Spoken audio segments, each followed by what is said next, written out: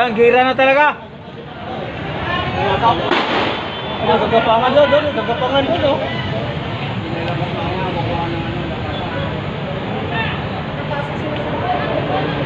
Nagagapang na nila.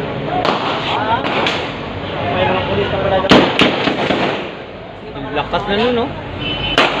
Pala doon,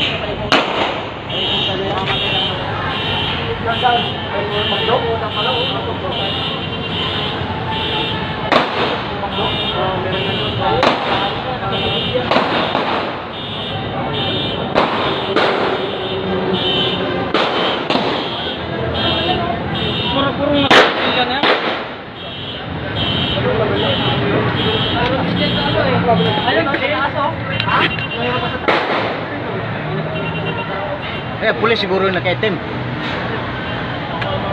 Oo, oh, pulis yan, pulis. Ay, saan yung, doon? Patay yan? Kanila lahat. Tagulang tana. Saan? Swat, swat, swat. Tana, swat. Ayun, tinamaan na. O, SWAT yun ah. Yung nakamotor. Tinamaan yung SWAT. Asa kayo? Yun oh. Galing yun doon, nakamotor oh. Nakaitim. Saan? Hindi yung nakaitim, pumasok sa McDo. Oh. Marami rin pala yan, no? Oh, ano kaya titirahin nila? Yung na patay na yung motor daw eh. Saan yung matinding labanan? Lakas ng motor.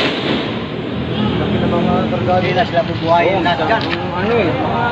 Yung pulis na yun. Mga Chinese? Tinding. Ito ngayon ang pinakamatinding bakbakan dito, no? Oo, ito ang pinakamatinding bagbagan. Kaysa dyan.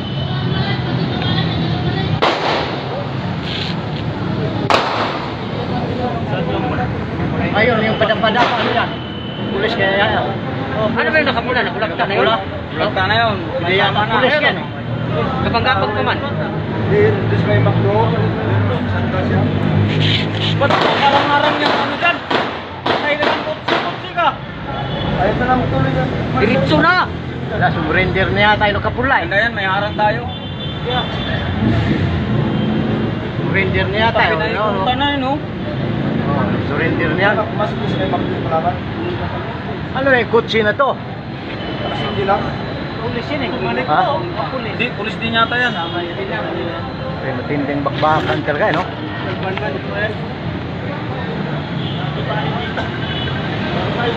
Mga motor rin pala yung sa kanila pala yung mga motor niyan, no? Traffic.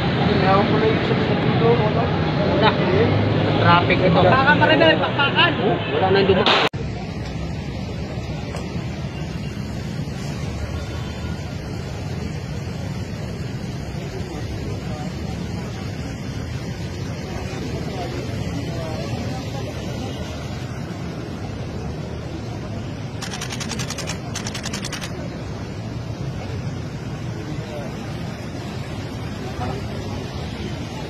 one of them.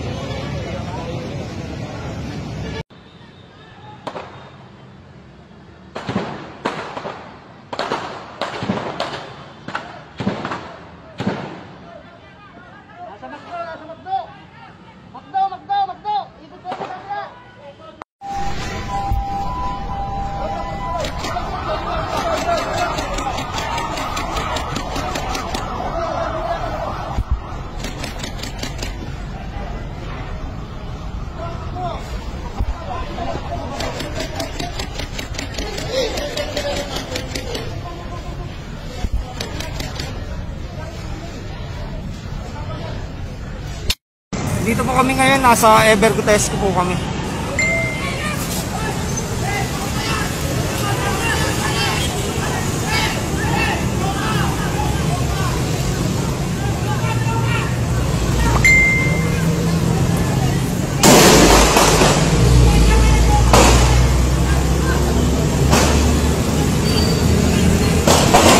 Dito po kami ngayon, nasa Ever po kami. Nagbabarilan po.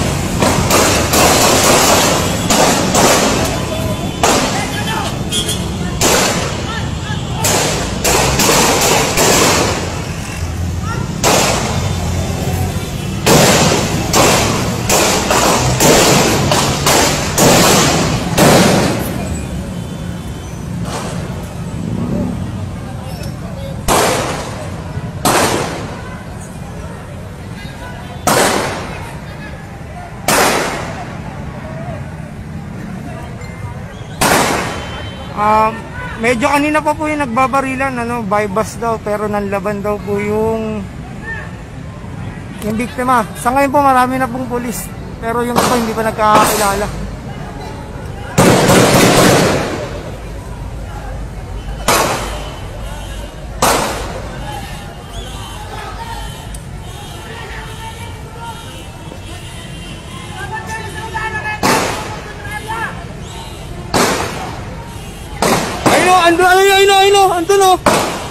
Gago, kope tayo.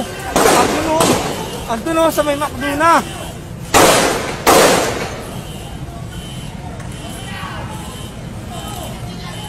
Ayos ka dyan! Ayos ka dyan! Ayos ka dyan! Ayos ka dyan!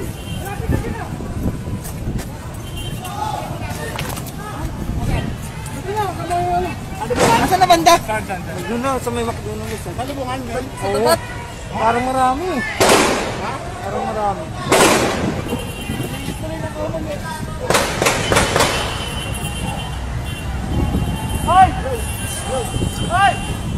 Naipit kami, naipit.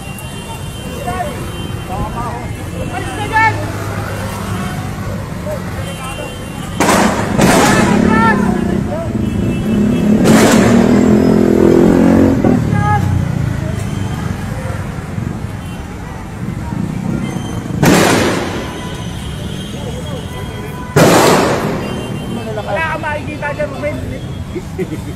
To give you update, ano, nandito tayo ngayon sa harap ng McDonald's kung saan naganap yung encounter kani-kanina lamang at makikita nga ninyo, ah, basag yung pinto ng McDonald's at ah, nagkaroon na ng at dumating na rin yung Soko at sinimulan na rin nilang imbestigahan itong puting van na to na ginamit kanina bago nagkaroon ng encounter. Nagkalat din yung dugo sa lugar at uh, sinisiyasat ng Soko yung paligid nitong fast food chain na to at ah, sinasagawa na nga yung investigasyon. Habang dito naman ay nagsimula ng ibilangin yung mga tauhan ng pulis. Yung kanina napansin natin mga ginamot pa ng area na to. Ayan, ayan sila. At ah, ginamot kanina ng, ng mga medical team. Yung grupo na yan na nagbarilan kanina, no? At itong sabi ng grupo ay binilang din kanina, kani-kanina at ina, pinapila sila ng ganyan at ah, ina-account ang bawat isa.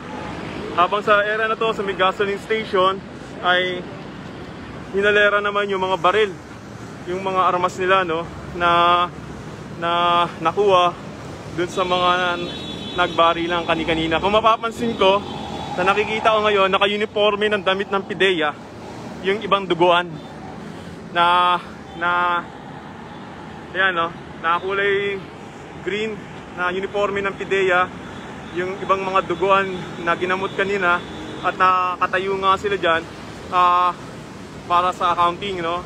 At ah, yung mga armas nila ay nilagay dun sa may gasoline station, inilapag muna siya doon at ah, binibilang din kung ilan karaso yung mga armas na na-recover sa nag-encounter. Dumating din yung, yung PIDEA director at ah, QCPD director at ayan sila sa ngayon nag-uusap yung dalawang panig at ina-assess nga yung sitwasyon sa nangyaring encounter kani-kanina lamang. Hindi pa malinaw kung misencounter to ng QCPD at ng PIDEA ah, sa isang drug bypass operation. So ito na, makita nyo, lumakad na yung PIDEA director at taan nila yung area kung saan naganap yung encounter dito sa may fast food, no?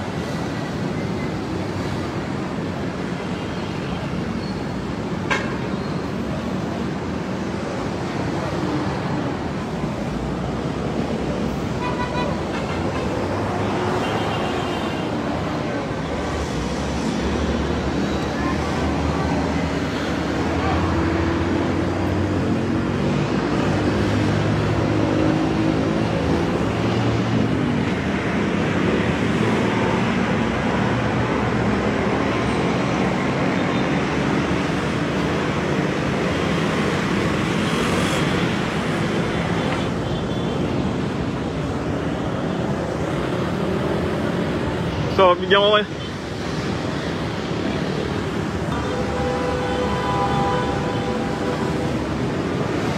So, ulitin natin, ano, ayan yung mga taong kasama sa encounter, naka-uniforme ng PIDEA at duguan nga yung iba.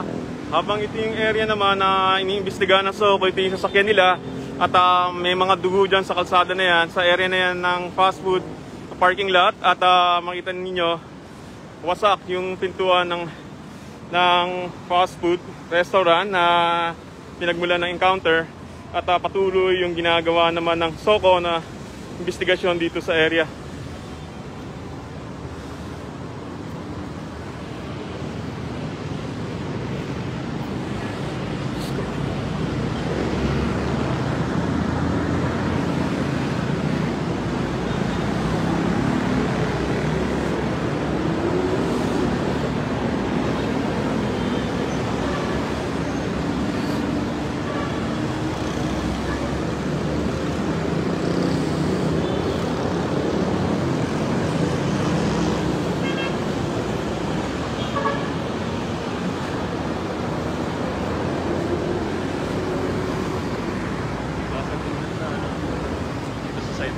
Oh, meron din.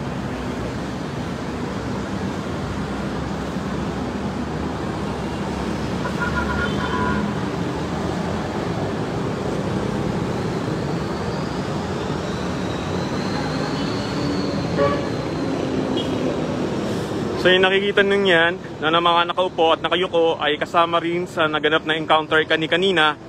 Ah, kala- ang kalaban naman nila, yung grupo na yan, ay yung mga naka-uniforme ng PIDEA.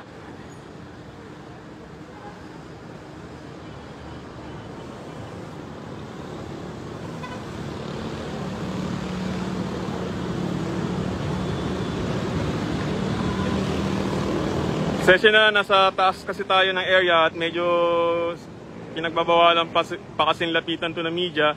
Kaya umakyat tayo dito sa mataas na parte ng ng Gusali para mabigyan lamang kayo ng initial na video na nagaganap dito sa investigasyon sa encounter na naganap kani-kanina lamang dito sa may Ever Commonwealth sa Quezon City.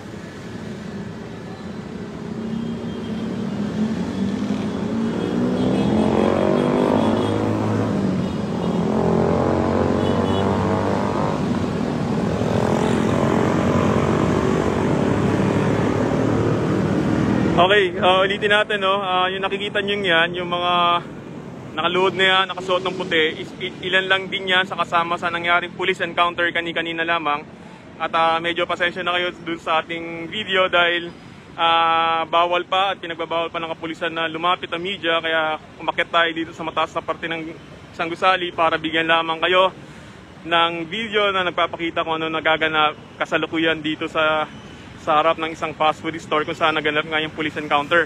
Ah, papakita ko lamang din sa inyo yung hanay ng mga kasama sa encounter, Ah, mga naka-uniforme nga sila.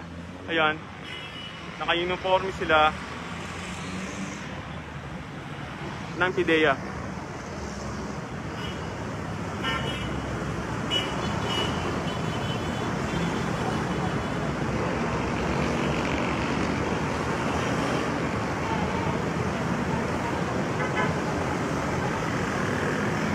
So magbabalik tayo mamaya-maya para magbigay muli ng bagong update sa nagaganap dito sa may Ever Commonwealth sa Quezon City.